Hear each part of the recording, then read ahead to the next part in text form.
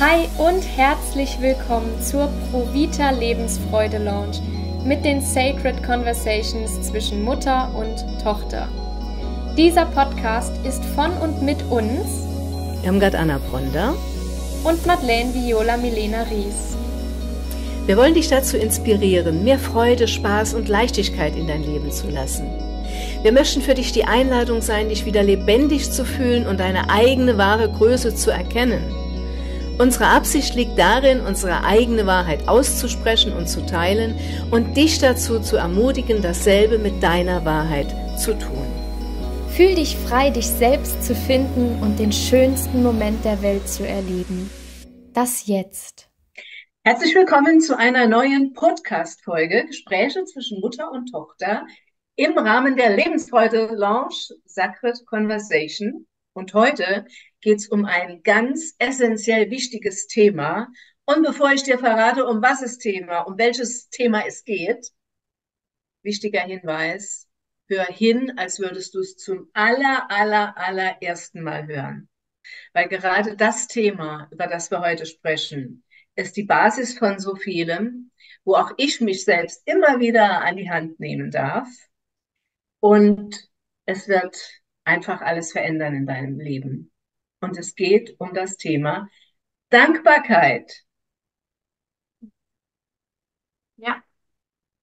Auch mir fällt es immer mal wieder nicht ganz so leicht, dankbar, wirklich tiefste Dankbarkeit für wirklich alles zu empfinden. Weil man, man ist ja auch irgendwo so in seinem Alltag. Es ist normal, dass ich zum Wasserhahn gehe und mir frisches Wasser hole. Es ist normal, dass ich mir einen Tee hole oder zubereite. Es ist normal, dass ein Kühlschrank da ist. Es ist normal, dass ich einen Kleiderschrank aufmache und Kleider habe. Es ist normal, dass ich rausgucke und den Himmel sehe. Es ist normal, dass ich hören kann, dass ich etwas essen kann, dass alle Zellen und Organe da sind und, und, und. Du merkst schon, also wenn ich hier anfange aufzuzählen, es ist so vieles normal.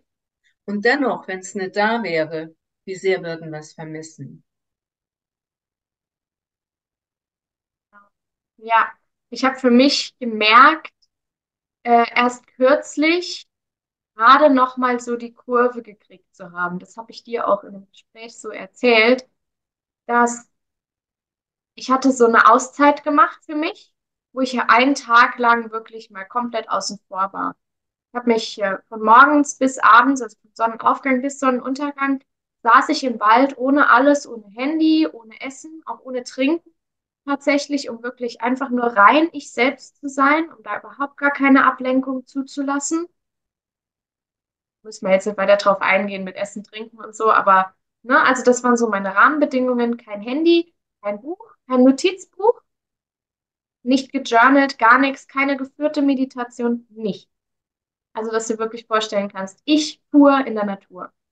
Ich habe den ganzen Tag dort gesessen und ich habe einfach nur meditiert und nachgedacht. Den ganzen Tag lang. Und mal abgesehen davon, dass es eines der geilsten Dinge, die man überhaupt machen kann, wenn man mal Lebensantworten haben will. Na, ständig vor irgendwelchen Fragen und Herausforderungen sich sieht und einfach nicht weiß, wohin mit mir und ich weiß nicht, wie, was die Antwort ist. Absolut die Lösung dafür, wahrscheinlich schon ein Million-Dollar-Tipp hier. Auf jeden Fall habe ich das gemacht und ich habe so ein bisschen reflektiert und nachgedacht. Und dann ist mir so gekommen, also ich habe so über mein Leben nachgedacht und über verschiedene Lebensbereiche nachgedacht. Beziehungen, Familie, Partnerschaft, Freundschaften, Gesundheit, Beruf, ähm, finanzielle Situation und Erfüllung im, im, in dem, was ich tue, in meinem Wirken, ich habe über alles nachgedacht. Wohnliche Situation, Träume, äh, Ziele. Ich habe ganz, ganz viel nachgedacht. Weitreichende Sachen und so weiter. Ganz, ganz viel über alle Lebensbereiche so nachgedacht. Und dann ist mir eine Sache aufgefallen. Eine ganz wichtige. Und zwar, dass alles gut ist dass es eine Sache gibt in meinem Leben, die mich besonders beschäftigt, aber der Rest ist einfach klasse. Und ich, da habe ich auch gemerkt, ich würde jetzt diesen Rest nicht als bezeichnen. So, ähm, nehmen wir jetzt mal die Partnerschaft als Beispiel, die würde ich jetzt nicht als perfekt bezeichnen im Sinne von, okay, das ist halt einfach vollkommen, da gibt es kein Wachstum, sondern sie ist perfekt in ihrem Sinne und wir wachsen weiter. Und ich weiß, es geht in die Richtung und bin da ganz entspannt. Also das, ich weiß, das wird sich sowieso weiterentwickeln. Und da bin ich, also, ne, also so in, dem, in der Hinsicht, alles ist gut. Und dann gab es eine Sache, die mir aufgefallen ist, als ich so das Ganze, ähm, ja, über das Ganze so nachgedacht habe, die nicht so 100 Prozent war. Und dann habe ich gemerkt, dass ich in den letzten Wochen mich zu sehr darauf konzentriert habe, dass diese eine Sache doch bitte läuft. Und den Rest, der war okay, der war da, dafür war ich auch dankbar und so. Aber jetzt, ich habe den Fokus nicht auf der Dankbarkeit gehabt für die Dinge, die schon toll sind, sondern ich war energetisch mit dem Fokus bei der Sache, die noch nicht so klasse war. Diese eine kleine Sache, 10% von allem. Also ich saß da und habe so gemerkt, wow, alles ist gerade gut. Einzige, was mich beschäftigt, ist das und das. Und dann habe ich so gedacht, oh krass, okay, und damit beschäftige ich mich den ganzen Tag, von morgens bis abends. Nicht damit, wie toll meine Partnerschaft ist, wie, was für eine großartige Familie ich habe, was für tolle Freundschaften ich habe, wie unfassbar großartig genial es ist, was ich empfinden darf, während ich wirke, während ich mich selbst verwirkliche, also arbeite, anderen Sprachjargon. Und aber eine Sache gab es, und ich habe mich die ganze Zeit darüber damit beschäftigt. Und das ist mir dann aufgefallen. Dann dachte ich so, boah, krass, du darfst mal deinen Fokus wieder switchen. Denn, und jetzt kommen wir zum ganz wichtigen Punkt, ich, deswegen sage ich, ich habe so die Kurve gekriegt. Das Gesetz der Anziehung besagt ja, dass Gleiches Gleiches anzieht. Und alles, was wir tun müssen, ist etwas wollen, zulassen, dass es ist, und dann ist es. Das sind die drei Schritte der Manifestation. Ich will etwas, ich lasse zu, dass es ist, und es ist. Das sind, ne, das ist ganz, ganz einfach. Und die Sache ist, wir geben dann zu viel Energie da rein, dass wir etwas wollen. Natürlich darf ich erstmal darüber im Klaren werden, was ich will. Dann, äh, und, und oft wollen wir unbedingt sowas haben. Wir wollen ganz dringend den Partner haben. Wir wollen ganz dringend einen neuen Beruf haben. Wir wollen ganz dringend mehr Geld haben. Wir wollen, wir wollen, wir wollen. Und daran ist, das ist auch gut. Ne? Wir dürfen wollen und da entsteht ja auch Weiterentwicklung. Dann lassen wir zu, dass es ist und dann ist es. Die Sache ist dann aber, es wird nur so lange Bestand in deinem Leben haben, solange du es immer noch willst und immer noch zulässt, dass es ist. Das heißt, dein Leben manifestiert sich in jeder Sekunde. In jedem Moment manifestiert sich dein Leben. Und du willst immer etwas, du willst immer mehr, du willst noch was und du willst hier noch was und da noch was. Und wenn wir den Fokus vergessen von den Dingen, die wir schon kreiert haben, die schon da sind. Und aufhören, uns darauf zu fokussieren, dass wir diese Dinge ja immer noch wollen, werden diese Dinge aus unserem Leben verschwinden. Weil der Fokus dann nur noch auf den Dingen ist, wiederum, die wir wollen. Ne? Und oft sind das die Dinge, die wir noch nicht haben. Aber wir wollen ja, also wenn ich ja dann den Traumpartner schon habe, den will ich ja dann immer noch. Wenn ich aber, und da kommen wir zur Dankbarkeit, Dankbarkeit ist der Fokus. Wenn ich mich aber weiter darauf fokussiere, ich habe den Partner und ich will den Partner auch, dann kann diese Beziehung oder dieser Lebensbereich erblühen und wachsen und noch weiter wachsen und erhält Bestand. Sobald ich aber anfange, mich auch um den Partner nicht mehr zu kümmern und so, ist ja auch irgendwie logisch. Ne? Und ich gibt da gar keinen energetischen Fokus mehr. Es ist selbstverständlich, er ist halt da. Ich habe mir den mal manifestiert und so, er ist jetzt halt da. Gut, ich habe andere Ziele, ich kümmere mich jetzt darum.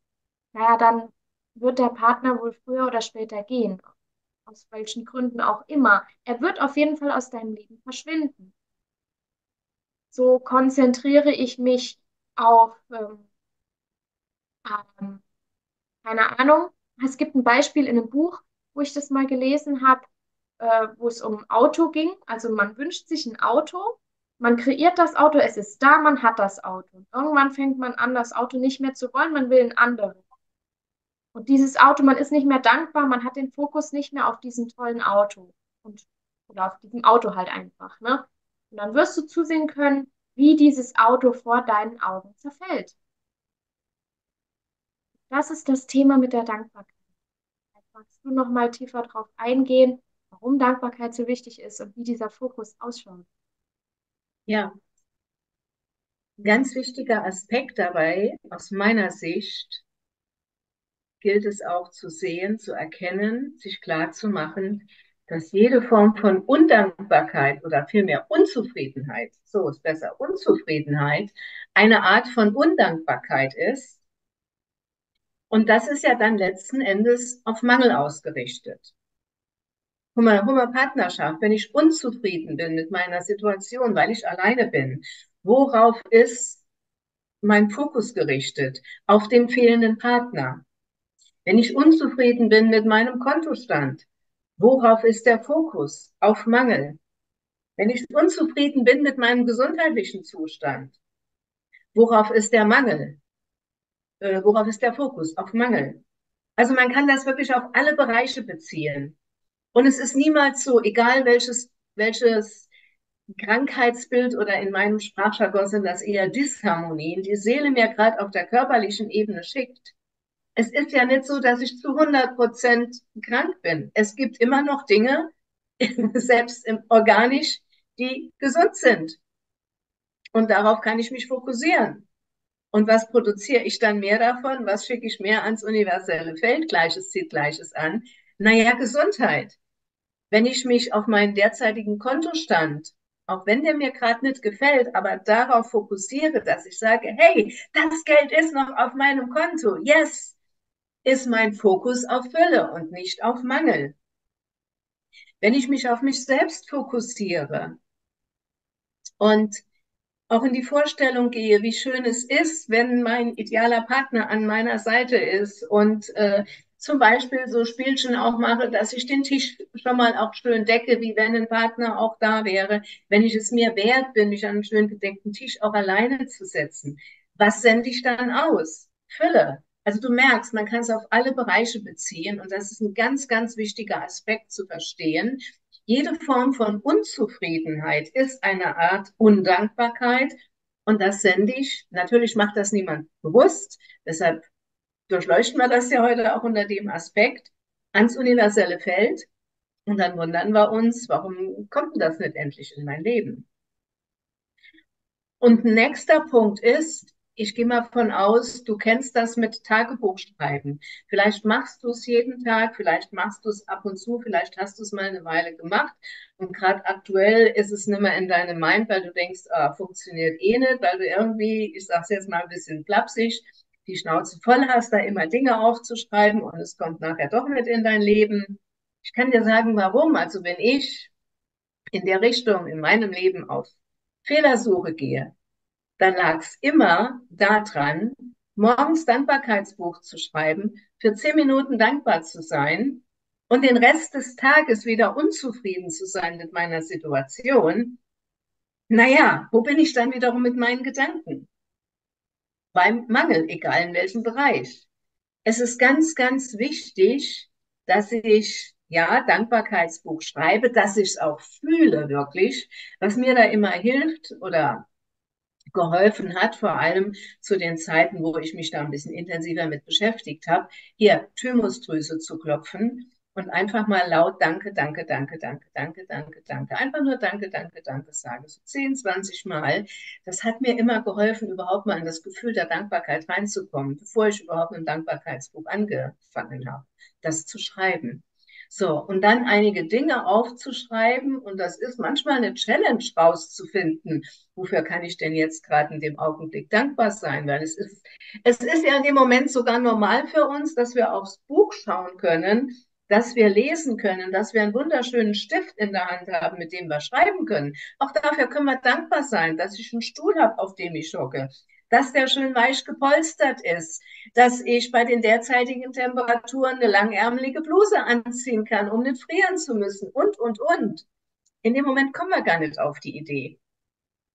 Und das dann wirklich auch zu fühlen und mit in den weiteren Tag zu nehmen, so dass ich zum großen Teil tagsüber wirklich Dankbarkeit für alles Mögliche empfinde und fühle und dankbar bin um dem Ganzen noch ein metaphorisches Bild mit auf den Weg zu geben, damit wir den Kopf hier mit im Boot haben. Stell dir vor, da ist abends so eine Universumskellnerin. Die hat eine Checkliste, schwarz-weiß betrachtet, Fülle und Mangel. Und die hatte ich ganz genau im Blick und füllt die Checkliste abends aus und macht Häkchen bei Fülle und macht Häkchen bei Mangel, egal in welchem Bereich. Und da, wo sie die meisten Häkchen macht, da sagt sie, okay, Davon liefere ich dir mehr. Das finde ich ist ein wunderbares Beispiel, was es auf den Punkt bringt. Und da dürfen wir dafür sorgen, dass die Universumskellnerin abends viele Häkchen bei der Fülle macht. Und dann wirst du staunen, was für wundersame Dinge in deinem Leben geschehen. Weil du es aussendest, weil Gleiches Gleiches anzieht, weil du in der Fülle bist und rausgeswitcht bist aus dem Mangeldenken. Und da gibt es noch so ein schönes, ähm, so eine schöne Übung, was ich, was ich unseren wunderbaren Kunden auch gerade in dem Bereich mit auf den Weg gebe, immer gerne zu machen, was so einfach ist und so wirkungsvoll. Wir Frauen sind ja schon multitaskingmäßig unterwegs, wenn ich das jetzt mal so sagen darf. Ne? Wir können die Spülmaschine ausräumen, gleichzeitig noch äh, irgendwie einen Termin machen, gleichzeitig noch, keine Ahnung, äh, die Nudeln schon mal ins Wasser machen, weil wir gerade noch am Kochen sind, was auch immer. Aber auch wir können nur eines machen, einen Gedanken gleichzeitig denken. So Multitasking wir unterwegs sein mögen, aber trotzdem, wir können immer nur einen Gedanken gleichzeitig denken. Und wenn ich mich jetzt mehr darin üben will, auch im Alltag mal, mich der Fülle zu öffnen, um da mal überhaupt einen Switch zu machen. Wenn du ab jetzt, wenn ich gerade das Beispiel mit den Nudeln genommen habe, wenn du ab jetzt eine Packung Nudeln aus dem Schrank holst, Spaghetti, wow, wie viele Spaghetti sind da wohl in der Packung? Wenn du Reis kochst, wow, wie viele Reiskörner sind da wohl in der Packung? Wenn du in deinen Vorratsschrank guckst, sagst du, wow, ich habe noch zehn Rollen Toilettenpapier auf Vorrat, wie cool. Wenn du auf die Straße guckst, du kannst denken, wow, wie viel Verkehr haben wir wieder da draußen? Du kannst aber auch denken, wow, wie viele Autos sind da auf der Straße unterwegs? Völlig andere Sichtweise. Du kannst einen Baum anschauen und sagen, wow, wie viele Blätter hat dieser Baum? Du kannst auf die Wiese schauen, wow, wie viele Milliarden Grashalme gibt's hier auf dieser Wiese? Und, und, und. Und dann kannst du nicht gleichzeitig in einer Unzufriedenheit, geschweige denn in einem Mangeldenken sein, wenn du denkst, wow, wow, wow. Wenn du am Wasserhahn bist und wäschst dir deine Hände, wow, wie viel Wasser darf ich hier jetzt gerade nutzen, um mir meine Hände zu waschen? Wenn du vorm Spiegel stehst und kämmst dir morgens die Haare, wow, wie viele Haare habe ich wohl auf dem Kopf? Und, und, und. Ja? Das ist so spooky, so einfach und so effektvoll, um sich das mal anzueignen. Finde ich genial, diese Übung. Ja, ja. Und warum habe ich vorhin gesagt, dass ich gerade noch so die Kurve bekommen habe? Weil wenn der Fokus ja immer auf diesen mangelnden Sachen ist, also ich habe 90 Prozent, die richtig toll sind und 10 Prozent, wo mir irgend, wo es mir an irgendwas fehlt, wo irgendwas noch nicht so ist, wie ich es gern hätte. Oder ja, ne? Wo der Fokus einfach auf einer, diesen 10% ist, die nicht so sind, wie ich sie gerne hätte, dann verliere ich auch den Fokus von dem, was ich will und was ja schon da ist. Mhm. Und dann können, je, je länger wir das machen, über einen längeren Zeitraum, desto mehr können wir dann auch zusehen, wie die 90% auseinanderbröckeln und zusammenfallen dann könnte ich, indem ich den ganzen Fokus darauf lege, was alles nicht oder diese eine Sache, die nicht so toll ist, könnte ich alles andere riskieren. und zusammenbrechen lassen. Alles, was ich aufgebaut habe. Das ist jetzt ein krasses Beispiel. Ich, ich sage jetzt, ich sag's jetzt mal so extrem, weil dann verstehen wir es ja auch mehr. Ne? Deswegen, das war für mich so ein sehr krasser Aha-Moment, nochmal zu verstehen, ähm, da ist schon so viel Großartiges.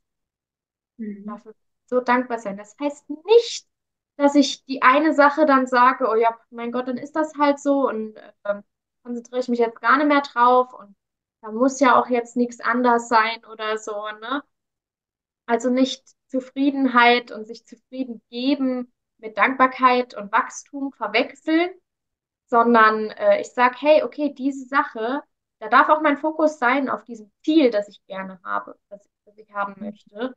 Und gleichzeitig darf ich den ganzen Tag einfach dankbar sein für das, was da ist. Das fängt so einfach an. Das fängt so einfach an. Da geht es um alles, was wir haben. Da geht es um die Kleidung, die wir tragen. Da geht es um die Gesundheit. Da geht es um meine Fähigkeit, mich auszudrücken, sprechen zu dürfen. Es geht um die Familie. Es geht darum, Ziele erreicht zu haben. Es geht darum, lesen zu können. Es geht darum, dass ich ein Handy habe, das ich benutzen darf. Es geht um fließend Wasser. Es geht um die Sonne, die scheint, um die Vögel, die zwitschern, dass ich das hören kann. Mhm. Alles. Wir, wir werden tausend Gründe finden, dankbar zu sein. Und wenn du mal einen Tag lang, den ganzen Tag einfach überlegst, wofür kann ich gerade dankbar sein? Du wirst gar nicht aufhören, Gründe zu finden. Richtig. Ich glaube, für Gewohnheit zu machen. Dankbarkeit als innere Haltung. Mit allem, allem begegnen in Dankbarkeit. Ist wohl eine Challenge, weil wir ja oft einfach auch darauf konzentriert sind, auf das, was fehlt oder auf den Fehler, so wie in, in der Schularbeit ja auch immer nur der Fehler angekreuzt wurde und gesagt wurde, hier hast du was falsch, hier hast du was falsch. Und der Fokus war ja weniger darauf, hey, das hast du aber richtig gut gemacht, das war gut. Ne? Klar, da stehen die Punkte, aber was auffällt, ist, dass da irgendwo ein Fehler ist, mit Rot markiert. Also ganz, ganz, ganz deutlich der Fokus auf dem Fehler. Mhm. Und nicht auf dem, was alles toll ist. Und das dürfen wir ändern. Das ist ja. so einfach.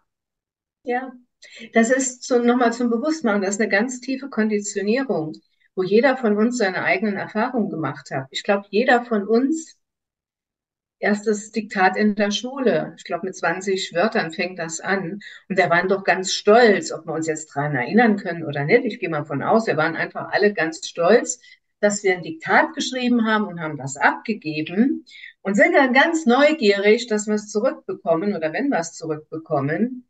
Und da steht nicht, hey, liebe Anna, du hast 19 Wörter richtig geschrieben, ein Wort hast du falsch geschrieben. Guckst dir an, schreibst nächstes Mal auch richtig. Davon spricht gar keiner.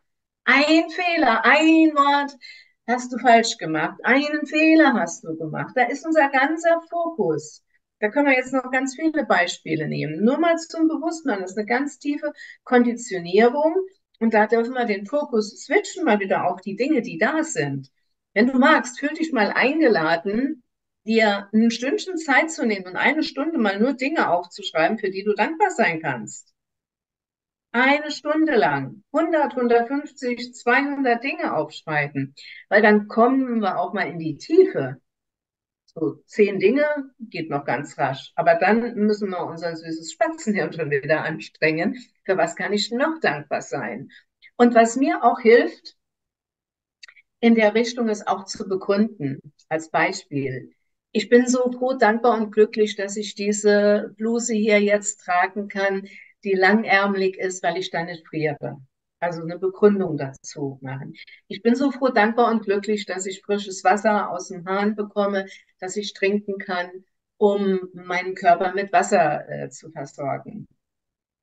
Ja, also zu begründen, warum. Ich bin so froh, dankbar und glücklich, dass ich fließend warmes und äh, kaltes Wasser habe, weil ich mich dann unter die Dusche stellen kann und eine heiße Dusche genießen kann. Also begründen, weil damit geben wir unserem Gehirn auch ein bisschen mehr Futter noch. für die Dankbarkeit, um es auch wirklich zu fühlen. Genau. Ja. ja. Und das, vielleicht, das ist vielleicht auch ein gutes abschließendes Wort noch dafür. Äh, nicht einfach aufschreiben, ich bin so dankbar und glücklich und ja, ich bin so dankbar für meinen Partner und, ne, und, sondern fühl das mal. Und ich wette, wette es, schreib es auch gerne mal in die Kommentare. Ich wette, es gibt so viel mehr Dinge von, von all unseren Zuschauern, Zuhörern, dass alle oder fast alle auch in einer Situation stecken, wenn sie mal genau hinschauen würden, wenn du mal genau hinschaust, dass du merkst, es ist eigentlich schon viel besser alles, als du bis eben in deinem Alltag gedacht hast. Also, dass da schon so viel Großartiges ist, aber der Alltag, der, da sind, da sind immer die gleichen Gedanken, immer die gleichen Themen. Das ist ja auch logisch, das ist Alltag, Definition von Alltag. Ne? Das ist immer das Gleiche und so. Ne? Mhm. Und Alltag fällt uns oft mal gar nicht so auf, dass schon so viel Großartiges da ist. Dass schon yes. so viel Großartiges da ist und für einen Moment mal innezuhalten und sich mal wirklich bewusst zu machen, hey, da ist schon so viel Großartiges. Ich habe schon so viel Großartiges geschaffen. Und ich bin auf dem Weg zu noch mehr Großartigem, zu noch mehr Göttlichkeit in meinem Leben. Genau. Die mentale Ausrichtung darauf richten, Dankbarkeit zu fühlen, die Dinge zu sehen, die da sind. Das sind Naturgesetze, denen sich niemand von uns entziehen kann. Und deshalb wird es auch so gut, dass wenn man sich dem hingibt, wundersame Dinge im Leben geschehen. Und man denkt, wow, Universum, du bist sensationell, wie du mir jetzt lieferst. Genau. Die Universumskellnerin, die ich eben genannt habe, die liefert so rasch dir die Dinge in deinem Leben. Einladung nochmal, die mentale Ausrichtung auf die Fülle zu richten, auf die Dankbarkeit und auch, dann müssen wir auch in der Podcast-Folge mal drüber sprechen, ganz genaue, glasklare Bestellungen beim Universum auch abzugeben damit die Kellnerin auch noch besser weiß, was sie dir liefern darf. Ich glaube, das wird eine der nächsten Podcast-Folgen. ja, in diesem Sinne, das war die heutige Podcast-Folge zum Thema Dankbarkeit. Hörst dir gerne nochmal an, um es zu verinnerlichen. Das sind so Dinge, die mache ich auch immer gerne. Hinterlasse uns auch gerne im Kommentar, was deine Aha-Erkenntnisse daraus waren. Empfehle uns gerne weiter damit dieses Thema noch mehr mit der Welt verbreitet wird auch. Und dann sehen und hören wir uns in der nächsten Podcast-Folge nochmal. Habt noch einen wunderschönen Tag. Bis dahin. Ciao, ciao. Ah, hey. Ah, hey. Von tiefstem Herzen ein Dank an dich für dein aufmerksames Zuhören, für deine Offenheit und dein Sein. In den Show Notes findest du mehr von uns und wie du in unser ProVita-Universum einsteigen kannst. Lass uns gerne in den Kommentaren wissen, was durch unsere Worte in dir in Bewegung gekommen ist. Und unsere Empfehlung ist, lass das Gehörte gerne nachwirken. Spür rein, was dir gut tut und genieße deine ganz persönliche Lebensreise. Von Herzen verbunden, deine Irmgard Anna und Madeleine Viola Milina.